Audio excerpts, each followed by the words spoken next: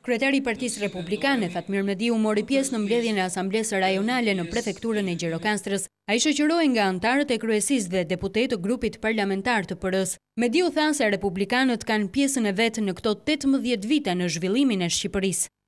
Ky stad në të cilin ne ndodhemi nuk është thjesht vetëm pjesë e gjykimit të ndërkombëtarëve, interesave gjeopolitike apo gjeostrategjike. Siç e kanë theksuar dhe ata vetë, është pjesë e reformave të thella, e punës këmbgulëse, të kryer nga qeveria shqiptare, të kryer nga politika shqiptare. Është punë e qytetarëve shqiptarë. për të realizuar reforma dhe standarde, për të rritur nivelin demokratik në Shqipëri dhe unë kam bindjen që mbas tre vjet qeverisje, sot ne kemi një Shqipëri ndryshe.